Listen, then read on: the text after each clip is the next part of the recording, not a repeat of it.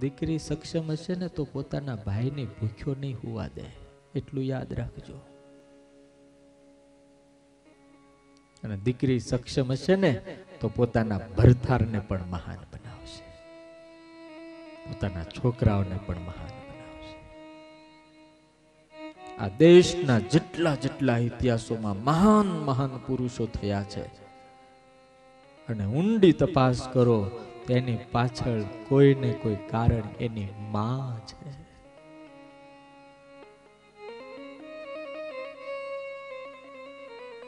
દીકરી દીકરી છે. ગમે એવા ભયંકર બારવટિયાઓના હૃદય પણ પીગાળી નાખે ને, તો દીકરીની નિર્દોષ આંખો અને પ્રેમાળ વાણી હોય છે.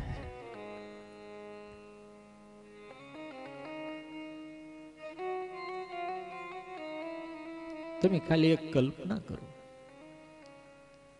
કે જે દિવસે દીકરીના લગ્ન હોય, હરણીની જેમ આપણા ફળિયામાં કૂદતી હોય, બાપનો હાથ પકડીને મન માગ્યું માગતી હોય. માને હકથી કહેતી હોય, મમ્મી, ભૂખ લાગી છે, શીરો બનાવી દે ત્રણ વાગે. હકથી કહેતી હોય. પણ એ જ દીકરીના પગમાં પાયલ બંધાય કોકના નામની મહેંદી પુરાય, કોકના નામનો સિંદૂર જ્યારે પુરાય ને કોકના નામની જ્યારે ચૂંદડી ઓઢીને, કોકની હારે છેડા છેડી બાંધીને જ્યારે આપણા ઘરના આંગણામાંથી નીકળે ને, ત્યારે તમે કલ્પના નહીં કરી શકો. અજાણ્યું ઘર, અજાણ્યા માણા, અજાણ્યું ગામ, બધું જ અજાણ્યું. જે હરણીની જેમ કૂદતી હોય, પોપટની જેમ બોલતી હોય, એ જ દીકરીને ખાલી એક કલાકમાં મોટું તાળું લાગી જાય અને પગમાં બેડી લાગી જાય. અને આજીવન પોતાના સસરાને ત્યાં રહી, પોતાના બાપનું જરાય ઓછું ન લાગે ને, એવી રીતે જીવન જીવે. દુઃખ પડે તો સહન કરી લે. સહન ન થાય તો ઝેર પી લે. પણ પોતાના બાપનું ઘર નો લજાવા દે. આનું નામ દીકરી છે ભાઈ. ઘર નો લજાવા મારી તમને બધાને વિનંતી છે આજે. તમારે ત્યાં કોઈ પરણીને આવે છે ને તમારી વહુ નથી હોતી. કોકના દિલના ટુકડા તમારે ત્યાં એને આપ્યા હોય છે. પોતાની છાતી ચીરીને તમને કોકે દીકરી આપી હોય હું તમને પ્રશ્ન પૂછું કે તમારી દીકરી તમારે ત્યાં આવીને કઈ ફરિયાદ કરે તો તમને ગમે? બાપાને કહે બાપા, હાહરામાં બહુ પીડા છે. મારી હાહુ મારા હાહરા મારા દેર ને મારા જેઠ મને બહુ હેરાન કરે. મારાથી સહન નથી થતું. તો તમને શું થાય? તમને શું થાય?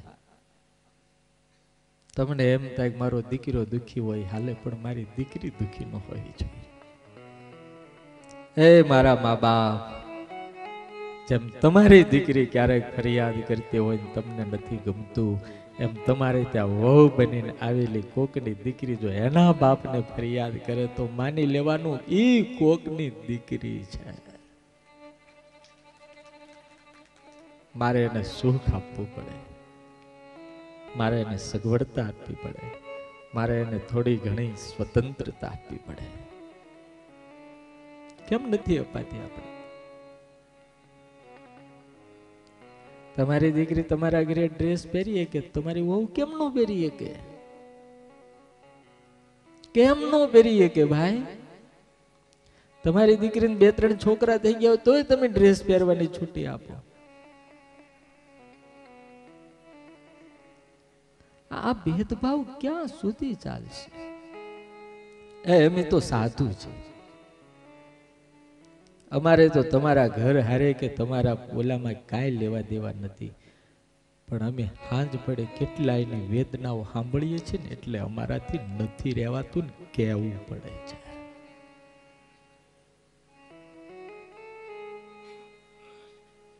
શાસ્ત્રોમાં લખ્યું છે ને વેદમાં લખ્યું છે. જ્યાં જ્યાં સ્ત્રીઓનો સત્કાર થાય છે, જ્યાં જ્યાં સ્ત્રીઓનું પૂજન થાય છે, જ્યાં જ્યાં સ્ત્રીઓનો આદર થાય છે, એના ઘરમાંથી લક્ષ્મી ક્યારેય જતી નથી ભાઈ, ક્યારેય જતી નથી. સ્વામિનારાયણ ભગવાનના પિતા ધર્મદાદા એના બાપ બાલેશ્વરમાં એને પોતાના છોકરાને સામે બેહાડીને એટલું કીધું તું હે ધર્મ તું જેને પરણી લાવો છો તારી સાથે જે પાંચ ચાર ફેરા ફરી છે એનું ક્યારેય ભૂલમાં તું અપમાન નહીં કરતો. નાવમાન્ય ગુણવતી, ભાર્યયા ધર્મ આ સત્સંગી જીવન શાસ્ત્રના મહાન શબ્દો છે. તો અપમાન નહીં કરતો. નાવમાન્ય ગુણવતી, ભાર્યયા ધર્મ વલ્લભા એનું અપમાન ન થવું પડે. મારી વિનંતી છે સાસુઓને સસરાઓને એટલી કે કદાચ તમારી વહુને તમારે ખીજાવવું પડે તો ખીજાજો, પણ ક્યારેય એને એના બાપ હામી કે મા હામી ગાળ નહીં દેતા. એની નથી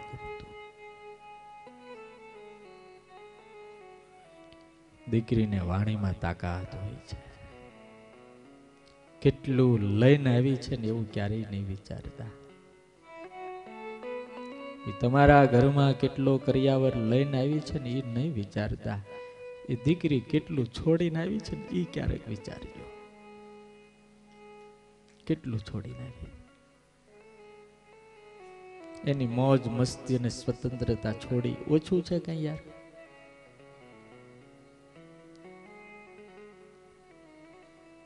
વાલા ભક્તો, આ જિંદગી છે. આપણે બધાએ ભેગા થઈને જીવવાની છે. આ મીઠી બને, એ મજા છે. કડવી બને ને, એમાં મજા નથી હોતી. જાજુ કઈ બાંધછોડ કરવાની હોતી જ નથી. જાજુ કાંઈ નથી. અને મતભેદ થાય છે. એમાંથી મનભેદ ચાલુ થાય છે. એ વાત તો હાવ ઝીણી એવી જ હોય છે. લાંબી હોતી જ નથી. તકરાર જેટલી જેટલી થાય છે એમાં માત્ર ને માત્ર આપણો ઈગો જ કામ કરતું હોય છે. બીજું તો કાંઈ હોતું જ નથી. પૈસાનો સવાલ નથી હોતો, પદાર્થનો સવાલ નથી હોતો, ખાવાની કોઈના ઘરમાં તાણ નથી હોતી, કપડાની કોઈ તાણ નથી, ફરવા જવાની છુટ્ટી હોય છે. માત્ર પ્રશ્ન આપણા અહંકારનો ઊભો થતો હોય છે. તો શું આપણે એટલો અહંકાર ને બાદબાકી ના કરી શકતી સુખી જીવવા માટે? ક્યારેક વિચારજો ખાલી એક અહંકારની બાદબાકી થઈ જાય તો સુખીથી જીવાય. ક્યારેક એ તત કરે તો આપણે મૂકી દેવું. ક્યારેક આપણે તત કરીએ તો એ મૂકી દે. તમે તો આ જમાનાના ભણેલા માણસો છો. હાઈવે રોડ ઉપર કાર ચલાવનારા માણસો છો. વચ્ચે ડિવાઈડર ન હોય ને હામ હામી બે ગાડીઓ આવતી હોય ને ભયંકર અંધારી રાત હોય. બંનેને હાઠ ને હોની સ્પીડમાં જવું હોય. અને બંને જણા એક ડીમ કરે તો, એક ફૂલ કરે. ઓલો ડીમ કરે તો, ઓલો ફૂલ કરે. ઓલો ડીમ કરે તો, ઓલો ફૂલ કરે. આ ફૂલ ડીમ ફૂલ ડીમ કરી કરી અને માણાલ મંજિલે પહોંચી જાય. પણ બે ફૂલે ફૂલમાં આવે તો ભટકાઈ જાય. આ. ક્યારેક ઘરવાળી ફૂલ કરે ત્યારે આપણે ડીમ થઈ જવું.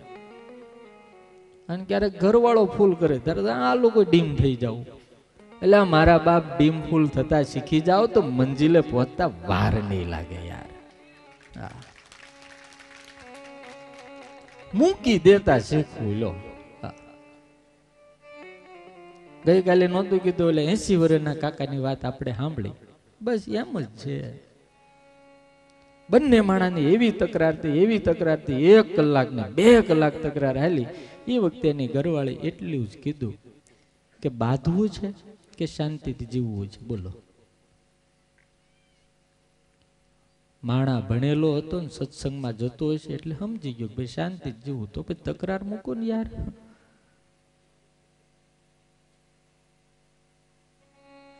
એટલું મસ્ત દાંપત્ય જીવન હોય. એટલું મસ્ત. છોકરાઓને મજા આવે.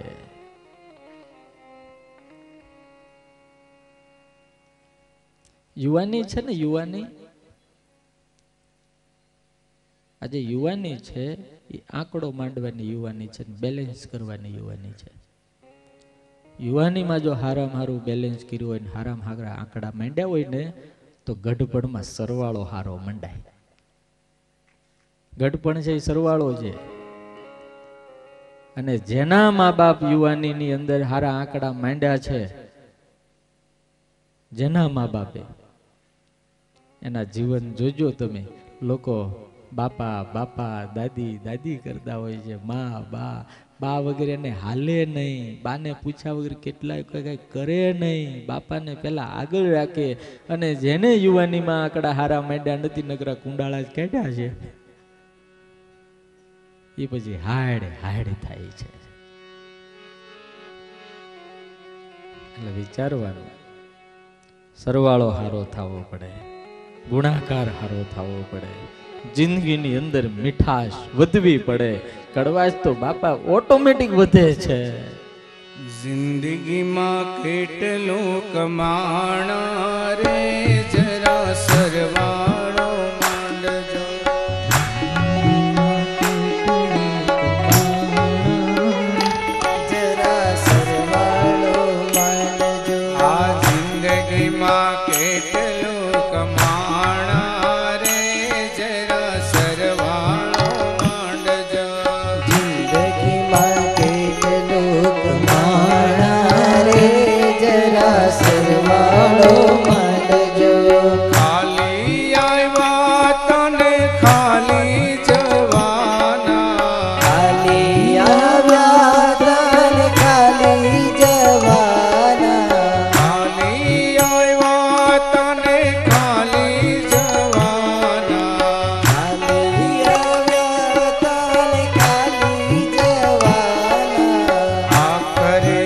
લાકડા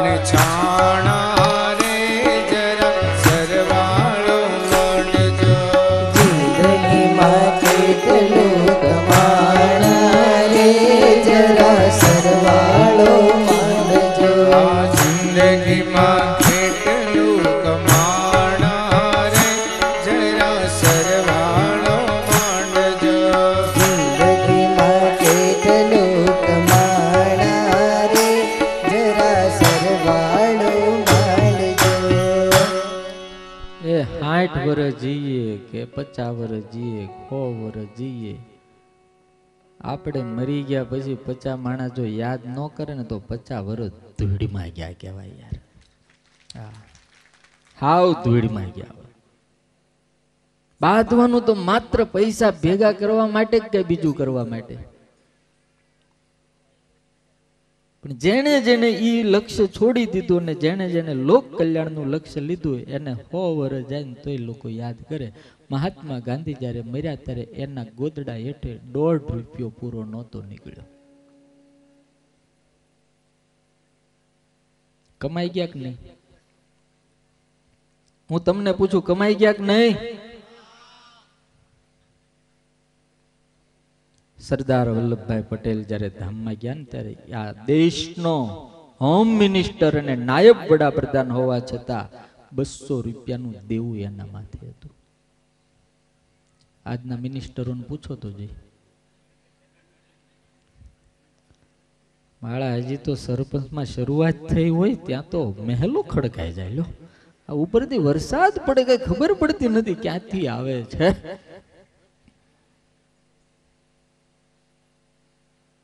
બહુ મોટા નેતાજી આ આ દશેરાના દિવસે ઓલા રાવણને માર્યો, પછી ઓલા કુંભકર્ણને આમ હળગાવતા હતા એટલે કુંભકર્ણ બોલ્યો કુંભકર્ણ બોલ્યો.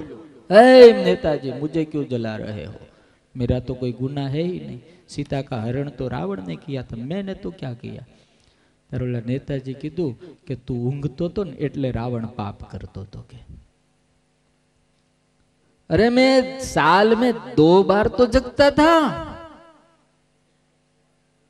વરમાં બે વખત કુંભકરણ જાગતો હતો છ મહિને એક વખત જાગે, ખાઈને પાછો હુઈ જાય. હું આખી જિંદગી નથી હું તો વરમાં બે દિવસ જાગતો તો, એટલે તને હળગાવું છું. ઓલા નેતા કે તું બે વખત જ જાગતો હતો એટલે હળગાવું છું. ત્યારે કુંભકર્ણે બહુ સરસ પ્રશ્ન કર્યો કે, નેતાજી, વરમાં બે વખત તો હું જાગતો તો, તું તો પાંચ વર્ષે એક જ વખત જાગે છો. તારો કોઈ અધિકાર નથી મને હળગાવવાનો. હાલી હું નીકળ્યો. દેશના મહારથીઓને, મહાન મહાત્માઓને જે નેતાઓ થઈ ગયા, આજે દેશ એને યાદ કરે છે. કારણ ક્યારેક પૂછજો તમારા આત્માને. પચાસ કરોડનો બંગલો તમે કદાચ આટકોટમાં પૈસા હોય ને બનાવો તો કોઈ પચીસ વર્ષ પછી યાદ નહીં કરે, પણ હું ગેરંટી આપું છું કે પચાસ લાખની સ્કૂલ બનાવી છે ને, તો વર્ષો સુધી લોકો કહે છે ફલાણા ભાઈની સ્કૂલમાં ભણો છું.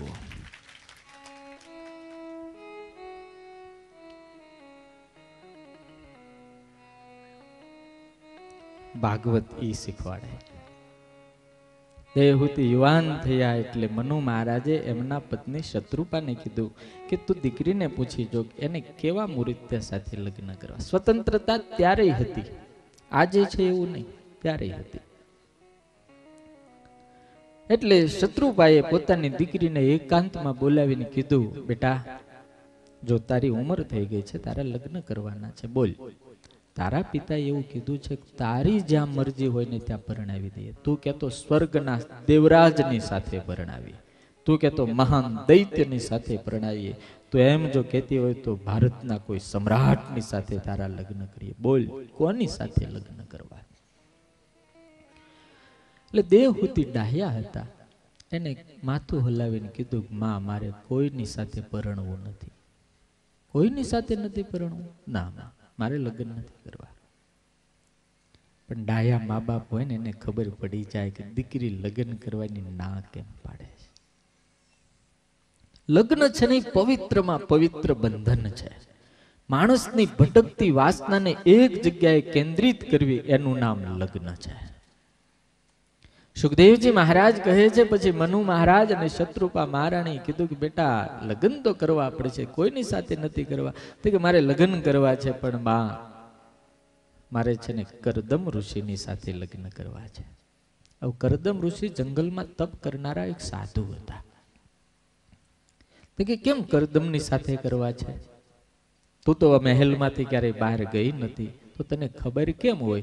ત્યારે એમણે બહુ સરસ વાત કરી કે, માં, હું નથી જતી બહાર, પણ મારા સદગુરુ નારદજી વારે વારે અહીંયા આવે છે એ મને સત્સંગ કરાવે છે.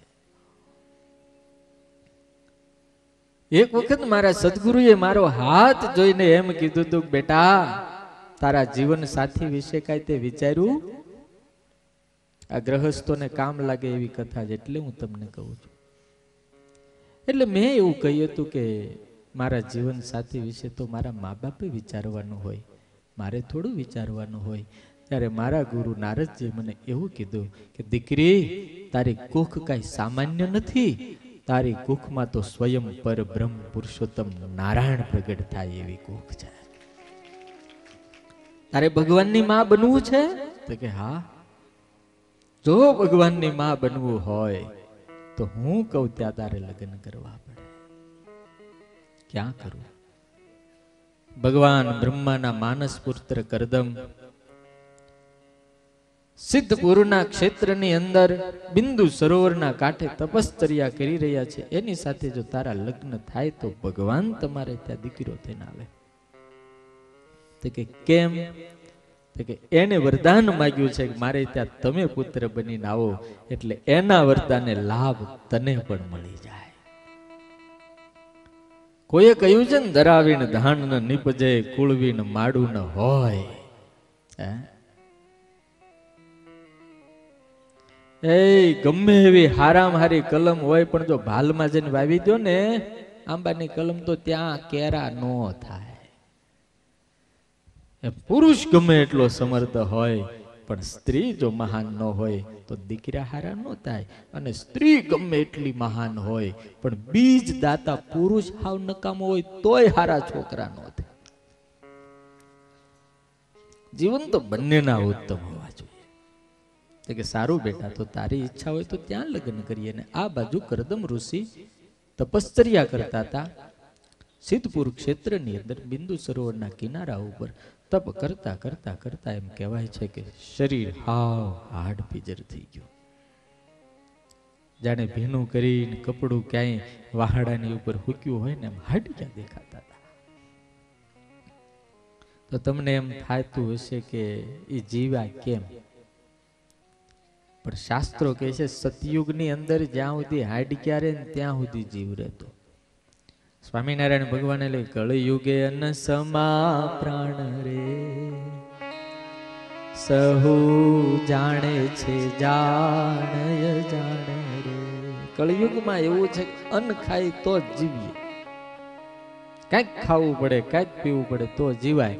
બાકી સતયુગ ને ત્રેતામાં તો જ્યાં સુધી આ હાડક્યા હોય ને, હાડક્યા ચામડી ને માંસ કદાચ ઉગાઈ ગયું હોય ને, તોય માણા જીવતો રહે. જેમ સમય બદલાય બધું બદલાય ને, ન બદલાય. આ જેટલા લગભગ આમાં આમાં જેટલા મોટી ઉંમરના જેટલા છે, એ બધા વાડીઓમાં શેઠે મોટા થયા છે. ધૂળમાં જ તે સાચું કે નહીં? આપણે મમ્મી પપ્પા હતા, જન્મ હોય બે એકાદ વર્ષના થાય તો એને ખેતરે કામ કરવા જવું પડે. એ ખેતરમાં કામ કરે ને આપણને ઓલા બાવળિયાને હેઠે નાખી દે. એ ધૂળ ખાય ને એ પવન ખાય ને તડકો ખાય ને તોય કોઈને તાવ આવતો. હવે અત્યારના છોકરાને નાખો લ્યો ધૂળમાં ખબર પડે. એક દાડામાં છોકરો ગુજરી જાય. અને જેટલા ધૂળ ખાઈને ધૂળમાં રમીને મોટા જાય ને ઢીકો મારે તો પાણી કાઢે ને ઓલા લોકો તો પ્લાસ્ટિક ક્યાં પાણી પૂરી ખાઈ ખાઈ ને જન્મ આપ્યો હોય, પછી એ વાત થાય ને.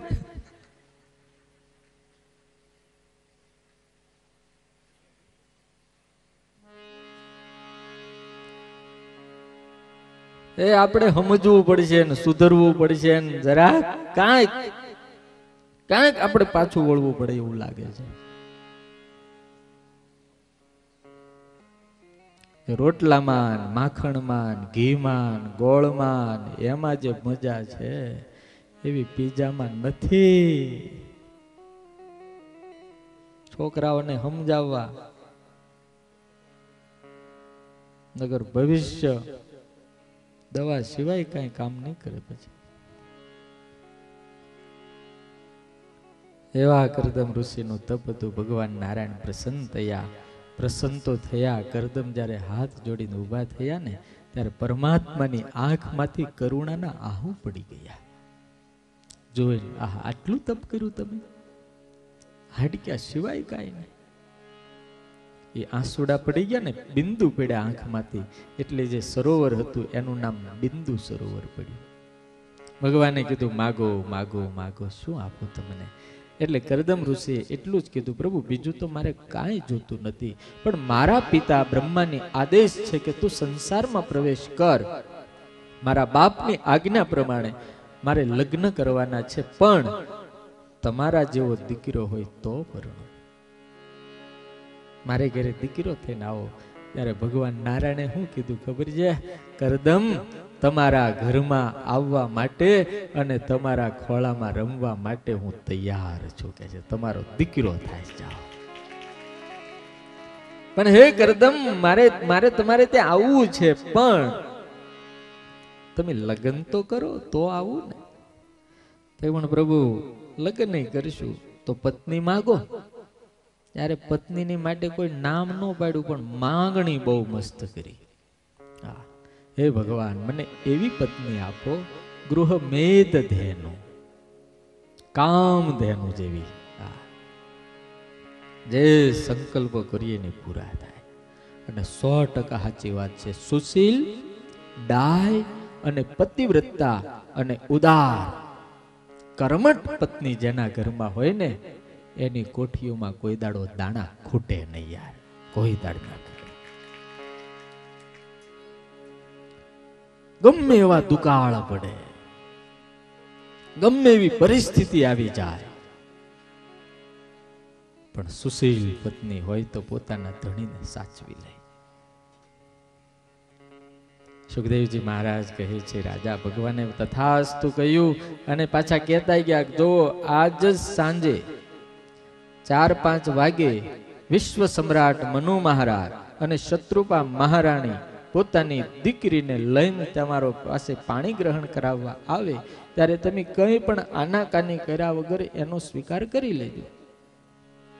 હવે દેખાડ્યું છે કોને પાત્ર? ભગવાને પોતે પાત્ર દેખાય બીજા દિવસની સાંજ થઈ મનુ મહારાજ કરદમ ઋષિ પોતાની ઝૂંપડીમાં કોકની રાહ જોઈને બેઠા હતા. એ જ વખતે એક રથ આવીને ઊભો રહ્યો. એ રથમાંથી સૌ પ્રથમ વિશ્વ સમ્રાટ મનુ મહારાજ ઉતર્યા. એમના